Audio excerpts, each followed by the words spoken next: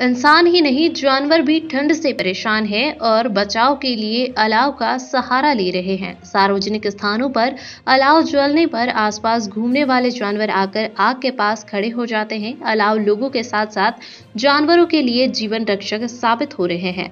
पारा गिरने से न्यूनतम तापमान सामान्य से नीचे पहुँच गया है। इसकी वजह से इस समय भीषण कड़ाके की ठंड व गलन पूरे दिन बरकरार रहती है। धूप न निकलने से मानवीय गतिविधियों पर काफ़ी असर पड़ा है। पशु पक्षी भी बेहाल देखे गए। बुधवार को सुबह शाम कोहरे की धुंध तो कम रही, लेकिन कड़ाके की सर्दी से जनजीवन बेहाल रहा। जानवर भी इस सर्दी से बेहाल है और जहाँ पर भी अलाव जलता है, वह उसी के आसपास खड़े हो जाते हैं, जिससे उन्हें भी सर्दी से राहत मिल सकी।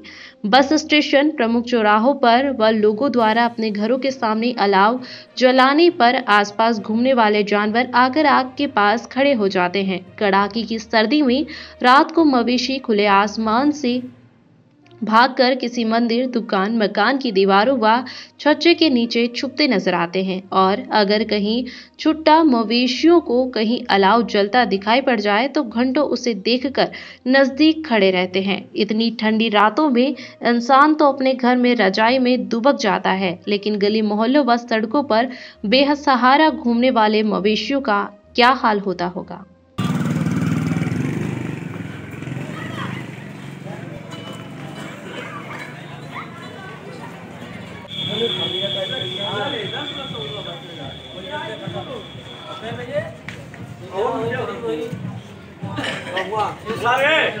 Haru kan mga gabar-gabar siya lahat. Ang marap.